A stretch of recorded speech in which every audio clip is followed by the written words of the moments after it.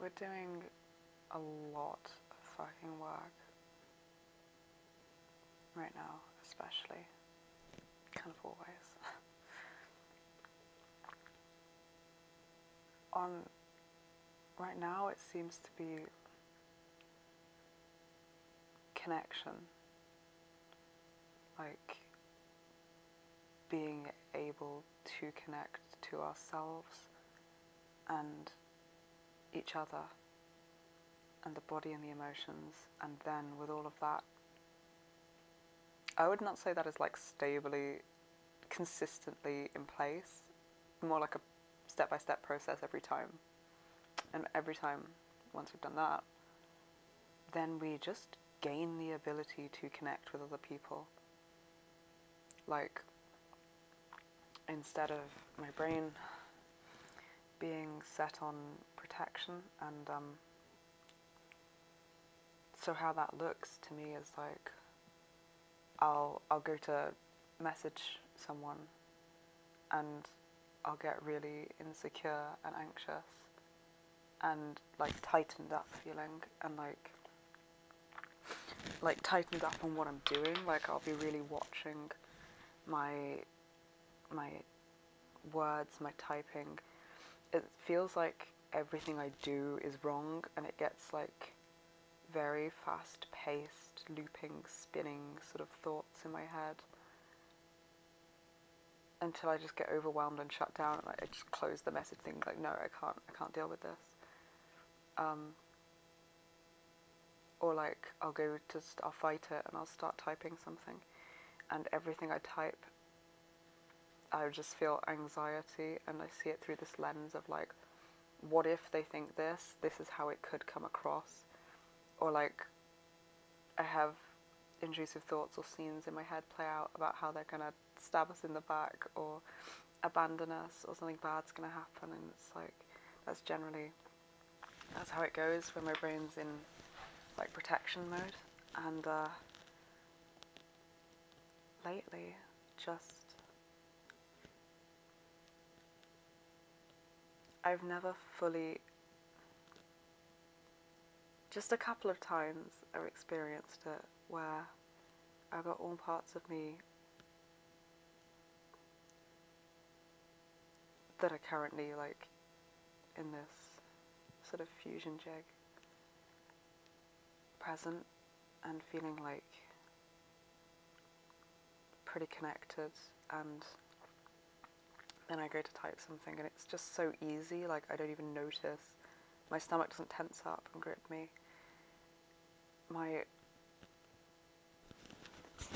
insecurities don't go off. I don't start thinking about like how they're gonna perceive or interpret what I'm saying. I don't like hyper analyze everything I'm typing. Instead it's it's just like I think of something that I want to say to them and I feel like confident that I'm being. I like what I look like. Like my view of myself isn't distorted, and I see this like kind of funny, kind of cool, kind of confident girl. I'm like, it doesn't even occur to me. It seems so natural that like it's not even that huge a part of my focus that just is. And then what i'm saying i feel excited to say and it feels relevant and i'm like i look forward to the person's response and thinking like what are they to think of this? But in a in a good way. Like where's this nebula trip to go from my brain to theirs and back to mine and like where could we take each other with this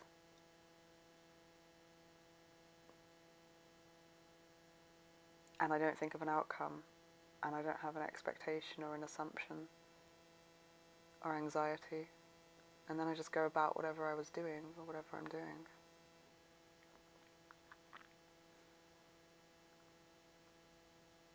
That's not the way most of it goes most of the time, but the times I have experienced that are absolutely fucking phenomenal. It makes me see why it's just like a fun social thing for people to spend time together and to talk all the time. We've never really had that. It's always been fraught with way more anxiety than I've gotten across in this video. That was not an exhaustive list, but and pain and dread and like actual fear. So this is very different, and I like it.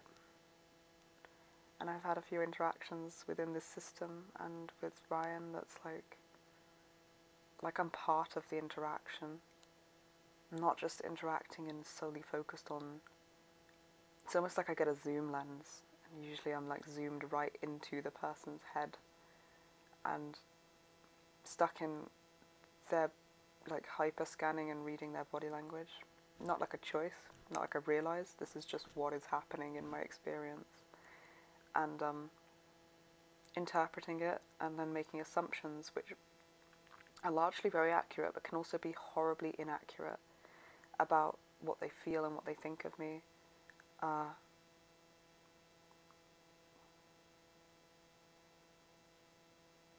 maybe a lot of the time with the insecurities getting more intense, they're more inaccurate, to be honest. And um,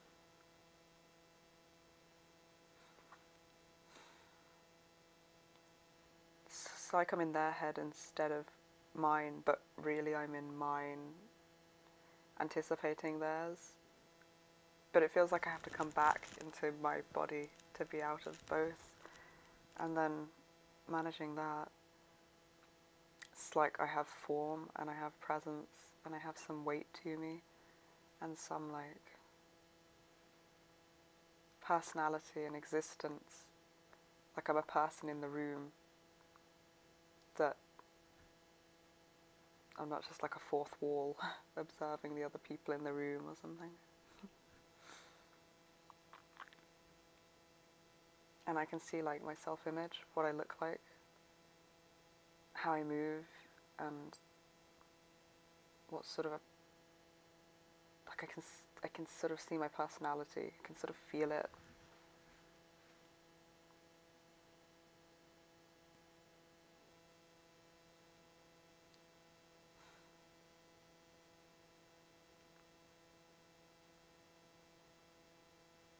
I can always feel yours and see yours. There are times when you pull back and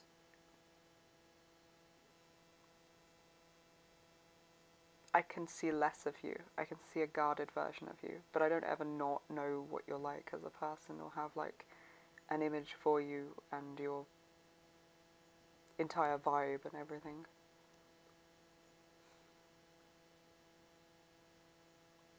Oh, it's the same in reverse actually felt surprised for a second and then I was like, yeah, that's that's how it works with you. Usually I'm invisible to me. I have moments of not being totally invisible to me at the minute. It's fucking weird. I like it. Me too.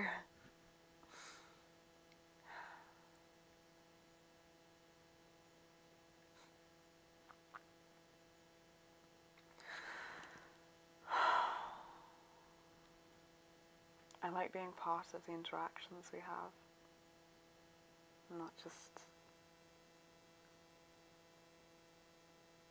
I used to be so focused on the other person that I couldn't focus on me or the other person. Either defensively, in assuming their intentions and responding in a guarded way, or through fawning and attuning to their emotions and not ours. So it's new to all parts of me really to be able to feel myself and be in the experience. I'm actually I'm actually there in the experiences we're having and in the socializing and I get to feel things and respond, not just like watch shit play out or feel pulled to act defensively or through fear-based motivation. I can take my time and responses are coming out a lot more natural because of it. And I'm like, I say something and I'm happy about it. I'm like, oh, that that sounded like me. I identify with the person I am like showing myself to be presenting as it, that aligns with my my ideals this person and what I just said and like it's like when you see a really cool TV character or something and you just like goals but more and more of what I say and do is coming out like that and making me think that. And it comes with this like really contented feeling that like I can just relax in our interactions. I don't have to try or really watch myself. It's just like kind of permission to be. It's really fucking cool. I'm still at the point of getting just like really cool, refreshing glimpses of it. It's not like a constant. The insecurities are like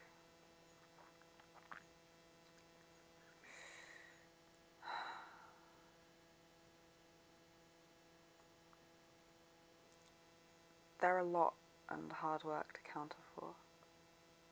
And it's getting kind of more natural to counter for them. I'm starting to see results, so I'm more confident that we're doing the right thing. And it's still kind of con- like constant, the work that's needed. And also it's, it's getting, uh, easier in some ways to do it. Like I must be building skills at doing it and I'm more motivated to do it because I can see that it's working. Like I can feel like I'm in my body as I'm saying this, and I, I kind of recognize myself and identify with myself as a person, which is wild.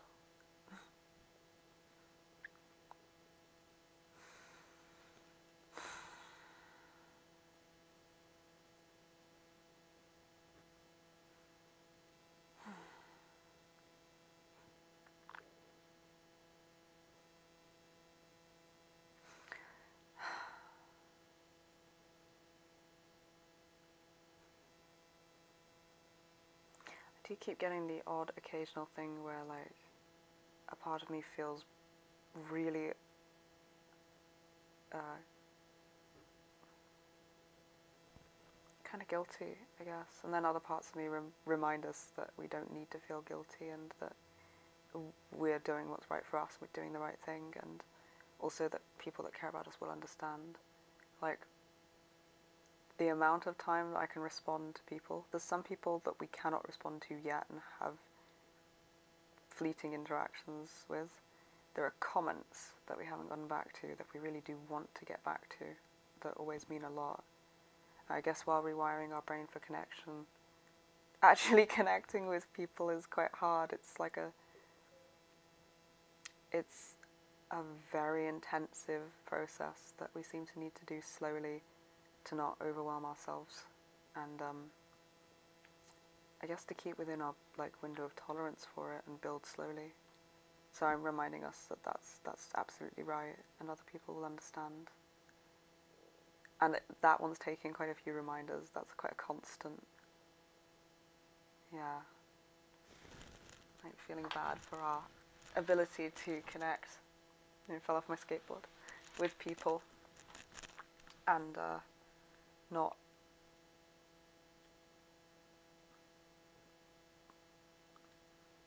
Because it's both like fuck we do really want to be able to connect with people so it's like sad that it's so hard. And then the guilt comes in of thinking like usual people pleasing sort of things.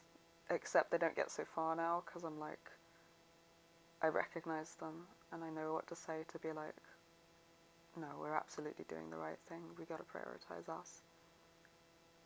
That's absolutely correct. Other people understand. Also, it's not a fucking death sentence to like wait a little while to respond to a comment or a message, and I gotta stop feeling like I'm sentencing somebody every time that happens. Like, we don't mind if people don't respond to us. We have friends that like are busy with their lives and they're healing and dealing with stuff, and occasionally reply to us, and we're happy when they occasionally reply, but we're not like unhappy when they don't. We're not sitting there waiting for them to reply or not getting that they have their own shirts. So like